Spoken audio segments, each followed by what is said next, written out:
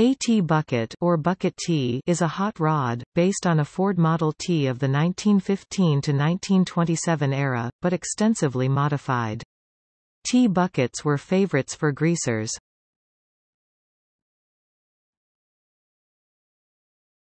Topic: History Model Ts were hot-rodded and customized from the 1920s on, but the T-bucket was specifically created and named by Norm Grabowski in the 1950s.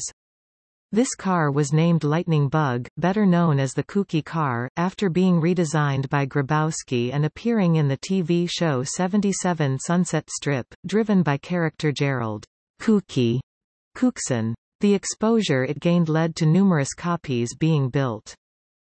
A genuine T-bucket has the two-seater body of a Model T Roadster with or without the turtle deck or small pickup box, this bucket shaped body shell giving the cars their name.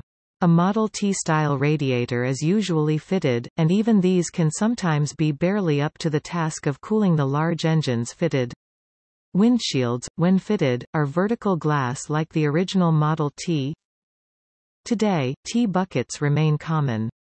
They generally feature an enormous engine for the size and weight of the car, generally a V8, along with tough drivetrains to handle the power and large rear tires to apply that power to the road. The front wheels are often much narrower than the rear wheels, and are often motorcycle wheels.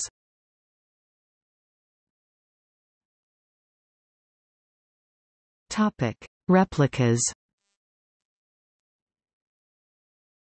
Since the last Model Ts were built in 1927, most modern T-buckets use replica fiberglass bodies. By the 1950s, original steel Model T bodies that had not been completely worn out were becoming increasingly hard to find and in 1957 the first fiberglass T-bucket body based on the 1923 version was introduced by the short-lived Diablo Speed Shop in Northern California. Of the only two or three bodies built by Diablo, one was purchased by Southern California hot rod builder Buzz Pittson and became the world's first fiberglass T-bucket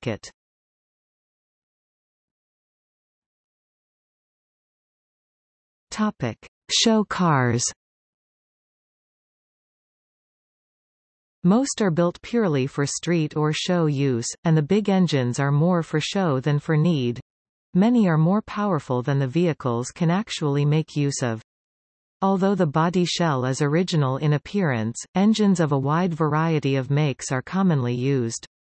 The small block Chevrolet is a common choice, since it is relatively small, light, easy to obtain and to improve, and performs well.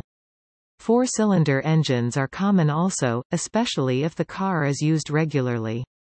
Many install blowers superchargers on their engines, and people use modern fuel-injected engines.